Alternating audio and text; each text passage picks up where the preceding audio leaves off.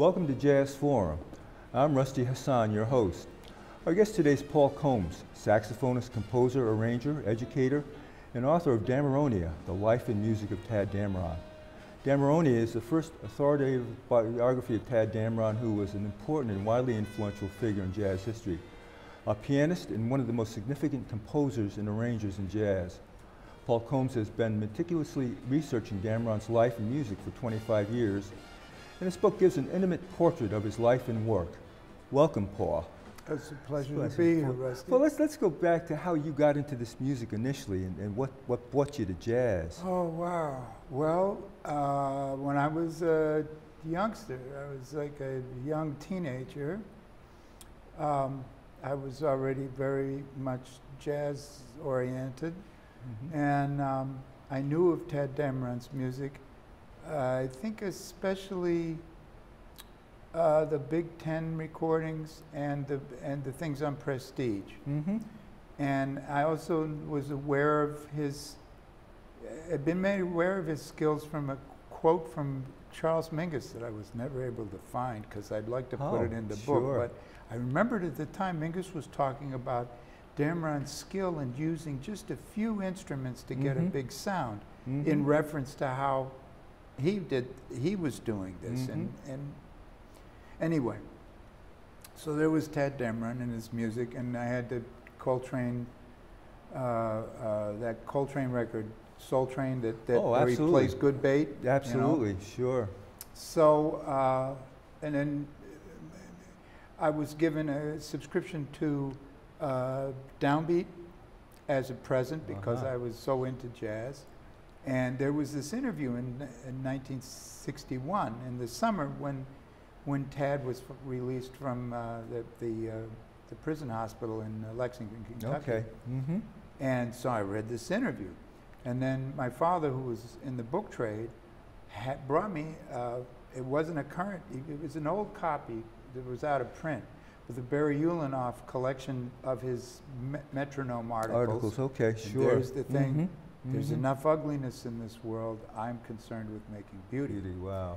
And as a, an aspiring young musician, you know that that really clicked, and I said, yeah, that's Mm -hmm. That's what we're about. Where know? was this? Where you, where'd you grow up? Philadelphia. Philadelphia. In Philadelphia, okay. and we had a we had a 24/7 commercial jazz radio station at that time. Um, you know, so I'm listening to that. I'm buying records. I'm Good. starting to play the saxophone, and um, all the great musicians in Philadelphia oh, yeah, came from there. Yeah, I guess and, a lot of them moved and on. And I was a downtown kid. Okay. I lived sure. around the corner from the Showboat and Peps, uh -huh. which uh-huh. were the two national touring clubs. And if I was a real good boy, my parents would, would take me to a matinee. Excuse me. And uh, so I heard the I heard the Jazztet with just after just after uh, um, Curtis had left, Tom hmm, McIntosh was in the band, but oh, wow. okay. Addison was still mm-hmm, alive. Mm -hmm, Addison McCoy Farmer, the piano. McCoy yeah. Tyner before he went with John Coltrane. Oh yeah, wow. yeah, yeah. Well, Boy. McCoy. I even had friends who were who knew the who knew the Tyners who knew knew McCoy. Right, sure. I never met him myself, but wow. Who else did I, I heard Mingus at Peps. I heard I heard Miles with Train. Okay, in 1960, geez. just before Boy. they left for, for Europe mm -hmm. at the showboat. Uh, an older guy who kind of looked after us young fellows took us took me up to the Earle, took me and a buddy up to the Earle to hear Blakey one wow. time. You know. Okay, sure. Yeah, you know. Sure. So I was growing up with the music around. But anyway, that's that's the thing. So Tadd and that quote. Yes. That quote for me mm -hmm. became very important for adjusting, you know, my attitude towards what I'm doing as a musician, whatever I'm playing. So I, in 1983, I wrote a tune. I'm mm. writing tunes all the time. sure. I okay. wrote a tune. Mm -hmm. And I thought, gee, I, I can, this makes me think of something Tadd might have written wow. for Coleman Hawkins. Well, okay. So I called it Hawk's Delight. Uh-huh. And I said, I, I got to find out more about Tadd. Let me go down to the library and see if I can get a book on it. Sure. I figured yes, there right? should be Absolutely. a book on Tadd Dameron. Absolutely. No. Boy. And um, few years after that, I went back to school to get my master's degree. And uh, I had a, a wonderful teacher for the, the research class. In Mhm. fact, I, I will say her name because Sure, absolutely. Alma Espinoza, Dr. Okay. Alma Espinoza. She's a she's a classical musicologist Mhm, and mhm. harpsichordist Mhm. And where was this? at the University of it was University of Lowell at the time Okay. before UMass took over all the this, the other state campuses. Okay, okay, Lowell, Massachusetts. Lowell, Massachusetts. They had a very good. They've killed it now, but that it it was this the College of Music. It had been part of the State Teachers College, Mhm. and it was a separate College of Music. Mm-hmm, mm-hmm. Um, uh, the, the the notable saxophonist Jerry Bergonzi graduated sure, from okay, there, Sure. Mm-hmm. and um, and several other musicians. It was a wonderful school within a school, and the UMass people have destroyed it, uh, but we won't go there. No, Anyway. So uh, what was the degree in then? Uh, I, I started off going back to get another degree in composition uh huh. because at the time I, I had a, a jingle house with a with a partner, and then we we couldn't turn the corner to making a full time living from the jingle house. We were working all the time, but we had to have other jobs, and it was like, well, you know. It so I when I when I, I let it go, and when I came back, I did it in performance. But but Dr. Espinoza set me off on this. She did such a great job teaching us how to use the library and how to do research. Wow. Okay. And with that, I said, okay, I'm going to give it a shot. So I, I interviewed uh, Charlie Rouse. He came to town, Sure. and um, that was my first interview. And we had a lovely time. He, he was well, you know him. I Well, I know he's, he's Charlie a Rouse from, guy. from you know, Washington D.C. I've had and- conversations with him yeah, also. uh, just a lovely guy. We yeah. talked for. I recorded him for about two hours on ta- on a cassette on Mhm, Tadd. mhm. And then we just hung out and two Oh, musicians, fantastic. you know. So Rouse actually recorded with, with Tadd Dameron and Fats Navarro, That's right. 1946, 47. 1946. He actually Yeah. first met Tadd. Wow.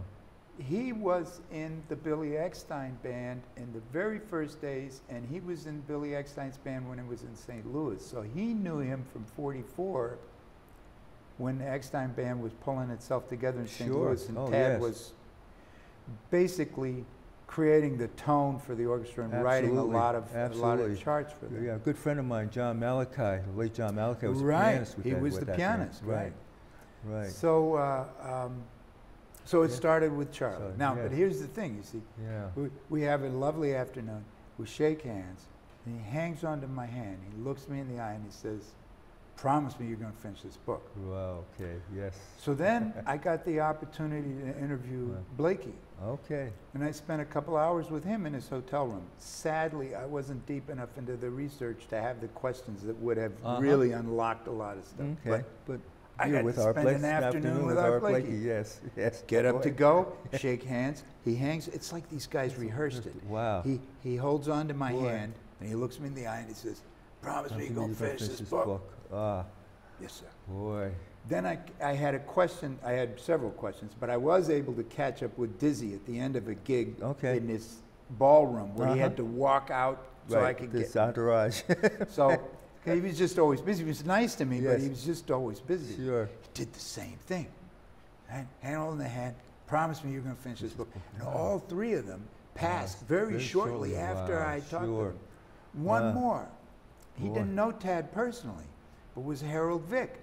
I'm in a music store in New York, and Harold Vick and I got Mm-hmm. Okay, talking, and we had a lovely time talking. Yeah, When he, yeah. shake hands. Yeah.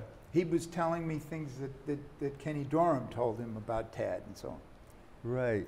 Did the same thing. thing. Held onto my hand, looked me in the eye, said, "Promise me you're gonna." And then we lost him. Right. oh, that right. was so, because he was. Yes.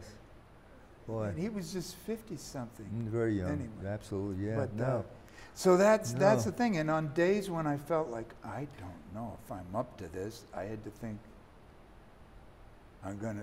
What if I see if there's an afterlife and I see them there? these they're guys, gonna right. beat me up. I promise them. right, right. So you're you're a working musician, and you're also uh, teaching. Uh, where Yeah, you, where, after- you, where, where were you living during the, the initial research for this? Um, I was just, I, I was taking as many gigs as I could and driving cab when I didn't oh, have enough, okay. you know. And where was this? in, uh, uh, in a town on the north shore of uh, Massachusetts, Okay. Newburyport. I was Okay. lived there. Mm-hmm. And uh, then I partnered with this old buddy who would, we had both done composition at the Musical Academy in, Mhm. in, in Philadelphia. And we gave it a shot at trying to make money in commercial music. And, um, and then when we, when we folded that up, um, at his encouragement, I, I was always teaching, you know, music stores Sure, and whatnot. okay. And he said, you know, you, you, you're a good teacher. You should go into education. So I went back, I got my apprentice certificate, and I got a job teaching in Danvers, Massachusetts, and then something happened, and I, but I, I had the ticket now. I had Mhm. the, the certificate for elementary and, and middle or junior high school. Okay. Yeah. And I picked up another teaching job, and Mhm. I, I, I did that. But I, I was gigging too, and so I was Mhm. gigging. I was teaching Wow. kids after Sure. school, and I was teaching in, at, uh, and uh, raising my own son and trying to check it. It took 25 years Years. because I could only do it here sure. and there. Sure. No. Can imagine. Yeah. I can imagine. Uh, so you you actually live in California now. How'd, how'd you wind up in California? Well, uh, winter never bothered me till I Ah. turned about till I turned 65. Okay. Yeah. I mean, wearing, I found I was wearing the gloves sooner and later Oh, in the seasons. Yeah. And then we got, uh, so I started thinking about it. 2013, we got a foot and a half of snow on Halloween. And I said, okay. mm. and I had my eye on some different places where it wasn't going to snow. right. Right. But I, uh, I, I had some friends already in in uh, in San Diego, because I keep in. I've, I've kept in touch with the radio community, even though I'm Mhm. not in radio anymore. Mhm. But at at an IAJE conference, I discovered that they met, and I just um, I fell in with them and became part of the family. And actually, I encourage other artists and people not necessarily in radio to go to this conference because it's a great network. But it's anyway. And um, so one of my friends is one of the on-air people at KSDS in San Diego. Mm-hmm. Then, in the course of doing this book, I became friends with Jeannie Cheatham, and she lives in San Diego. Sure. And another saxophonist I know who also repairs instruments. For some reason, he had, oh, he was from California originally. He had moved there and then moved back east because his wife had to, they had to take care of her parents, Mhm. and he had just moved back there. Mhm. So I already had, I had friends there, and eh, you know I knew people there. And the first time I went there, I took the train. I went on a long trip and visiting friends, and so I got an excursion ticket on the Yeah. train. I stepped off the train, and I said, "Yeah, It was warm. yeah." It's it just was, and it felt right. And Yeah. we've got a great, we've got a nice scene down there. yeah. A lot of good players, Mm-hmm. um, and um, no dedicated jazz clubs, but but there's jazz happening all Sure, over town. sure, sure. you know, they're the venues that Sure. have a mix of things and so on. And Did you do a lot of the physical writing out in California, or no, you no, most of the done? book was done. the book was okay. The book was done in two, at the end of 2012. Okay. It came Okay. out then. And yeah. what was the, the process in finding a publisher for it? How did, how did that work? Oh, Yeah.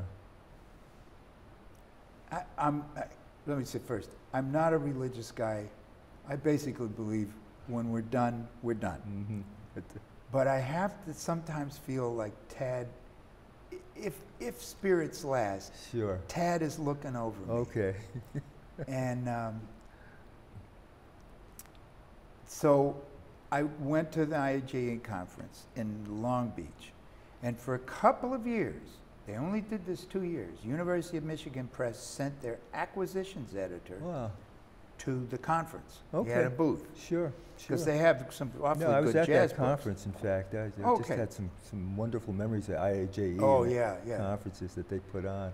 So this was one was in was in Long Beach, and I went to talk to him, and uh, I wanted to buy the Betty Carter book and so on, and he's and and and I said I told him what I was doing, and I had being a rookie I had my eye on Oxford because Sure. there's so many Oh, great yeah, books came great out jazz from Oxford. and, uh, yeah, uh, great Oh. editors there and Yeah, stuff, yeah. you know, that, that they produce. So, uh, uh, yeah. so he said, well, if it doesn't work out with Oxford, re- consider us. Okay, wow. Okay, thank you, thank you. And We got his card. and Sure, everything. sure, So I get the package yeah, from Oxford as to what I'm going to have to do uh-huh, to p- pitch the book to them. Uh, And it's like doing another master's thesis. okay. It's like, it's crazy. And you've already done the book. and, and I've done, well, no, I, I was, the Still book was, uh, well, you'll find out in a moment. Yeah, I, I had bits and pieces, you Okay, know, sure. of the book, but I had a clear vision of the sure, book. okay, So I looked at that and I said, well, let me try this guy at Michigan. yeah. Because they, you know, I said, I, I was starting to realize, oh, there's other opportunities other than Mhm, Oxford. mhm. So I, I contacted him. I said, look, I said, if I bring you, how about if I bring you three draft chapters and a complete outline? He said, yeah. He said, that's, that's worth us talking. Okay, So the next year he was in Toronto, yeah. and he once again was, he had a booth there. Okay, And I guess he could have come over to Toronto from Ann Arbor anyway without a mm. big hassle. So we go out to lunch. I give him the stuff. Now, he's the acquisitions editor. Later on, I found out from him, he ended up being my actual editor. oh, really, too. okay, yeah. A wonderful editor. Mhm. But at one point, I had lost track of the word count. And I said, I emailed him, Oh, Chris, why didn't you warn me? He said, Paul, I'm working on a 100 books at a time. Right, right. I, and I said, "Oh God, I'm Okay. sorry, man." Yeah. I, whoa, I, I felt, you know. So he has all these editors, yeah, an editor for chemistry, an Okay, editor sure, for right, American right, Lit, and right. editor for Okay, jazz is okay. Lewis Porter, who's Oh, since Lewis become Porter, a good friend. Who has this wonderful program at Rutgers. with- yeah, yeah, yeah. with- the master's program in jazz history. and he he Wow, he sent my stuff to Lewis, and Oh, Lewis okay, said, geez, "Sign wow. him up." wow, awesome. Said, Yes, yeah, good, we got to do sure, this. Sign this sure, guy good, up, Good, and that was it. good. I had So, Lewis yeah, Lewis Mike Porter was always in the back of my mind, uh, you know, when- when you, when I heard about this book uh, coming out. So what did you learn ab- about Tadd Dameron in all your research that, I mean, you, you Oh, learned? wow. I us. learned so much about the craft of composition and Uh-huh. arranging. Mm-hmm, Um, you, you know, the, the, it, it, I talk about it in the last chapter. I take the eight tunes, or seven, seven tunes. I take seven or eight. There's, Mhm. there's, there's eight that are really Mhm. part of the jazz canon. Mhm. really jazz sure, canon. absolutely. And yeah. I discuss how each one is u- is unique in how it's structured, how how the phrases work, Mhm, how uh, how mhm. it works rhythmically and structurally. They're they're all different. The range of strategies of writing. You know, most people have like two or three things that they do. Um, uh, uh, Abbey Lincoln, and and they're wonderful what she did. Mhm. But you know, Abbey Lincoln has like maybe three songs that she writes over and over again. Right, Okay. But to make a different Right, point, and, right, right, and it's right. that's fine, and Yeah, she did it. you know, it's not a criticism. Right. But you look at this guy, and he's so creative. He's got so many different ways of creating a piece of music, mm-hmm, mhm, mhm. and uh, that's a real inspiration to me. And realizing, learning that he wrote he wrote Lady Bird in 1939. I didn't realize it was that early. Yeah. Right, right. He wrote well, Good Bait in 1939. Oh, okay. And he says he wrote, sometimes he fibs about things, but I learned to know the things that he, that he fibs about and the things that he never tells a lie about. And, and there's those things he never lied about. Uh, the, I met the bassist who played with his brother back in that band in the 30s Okay. and he confirmed for me. I had a couple of other people who gave strong, you know, secondhand thing, but I got to talk to a cat who played the tunes, Mhm, mhm. you know, and they were in his brother's book. I didn't ask him about about uh, Hot House. I don't think Hot House would have worked for his brother, but Lady Bird and, and the others would have worked for his brother's band. And he maintained that he had written Hot House too, then I, I can believe it. Um, but certainly those two he had written already. And you listen then, uh, the, the music for Harlan Leonard. there he is. He's 23 years old. He's been selling arrangements since he turned, what is this, 40? 30? Since he turned 21. Mm-hmm. We, we, it, it was uh, Jeter Pillars. He sold charts to in 1938. And he's given charts to other people. And then he worked for Vido Musso, and I think we found recordings of things that he wrote for Musso. I'm trying to figure out how I can absolutely confirm the dates, but it sure sounds like what he was writing then.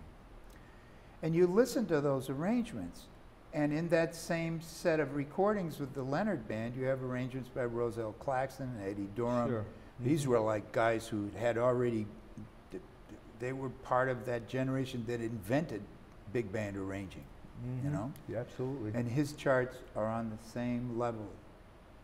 And you hear some charts written by some other guys, and they're not.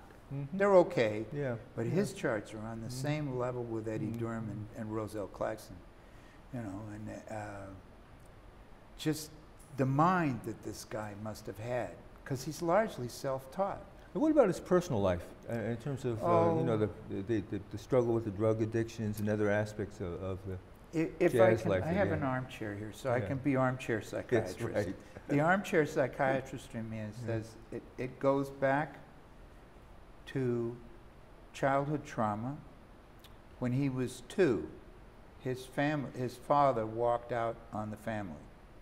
His father Mhm. abandoned his mother and his Mhm. brother, but he didn't move out of the neighborhood. Oh, right. Okay. He's always in the neighborhood, but he's.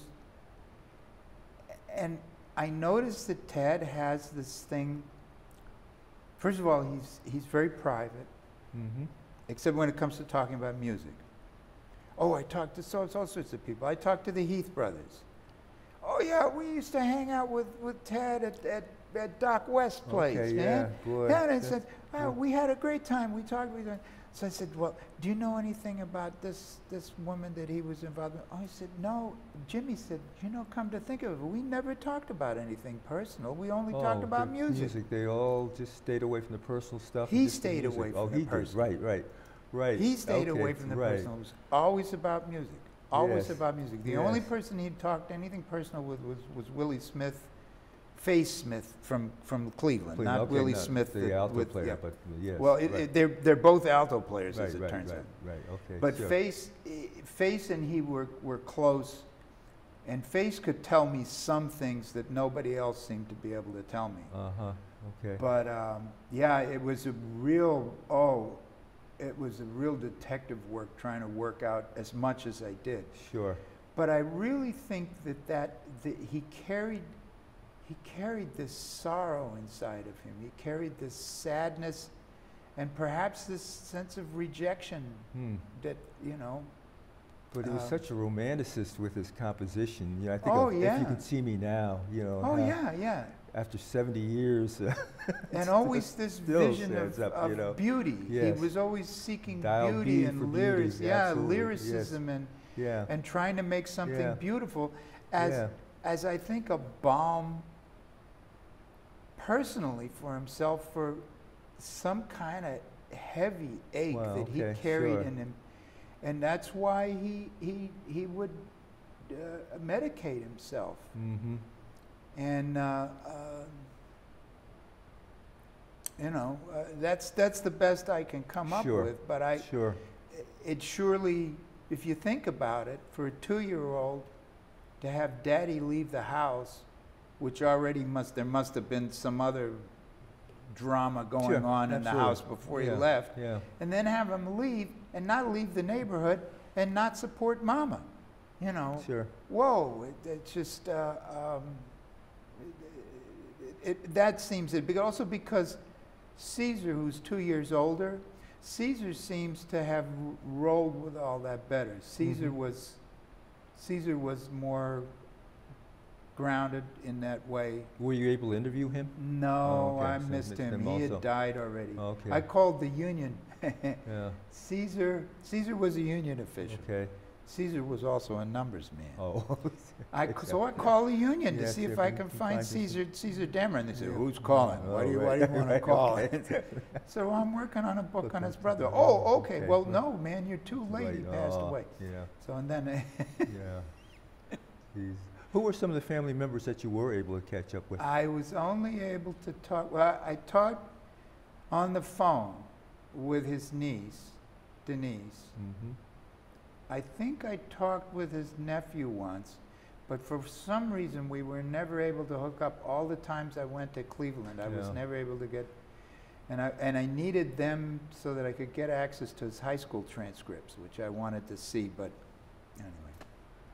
Um, and I talked to his sister-in-law. I had a nice, Mhm. long conversation with Mhm. his sister-in-law, which was very Yeah, useful. Okay, yeah. And I just wish I had gotten it together to go out there and talk to his mother. Sure, Because, sure. but, you know, Well, we're coming down to the end, but one final question. Who was, who was, so who were some of the musicians who did see the, come to completion on this that were really, you know, part of the, the people that you talked with? uh, wow, um, not many. Uh-huh. Clark was still around. Okay, yeah. Uh, Larry Terry. Ridley, Larry Ridley, still with us, Um, absolutely. very much Good. so. Yeah, yeah. Um,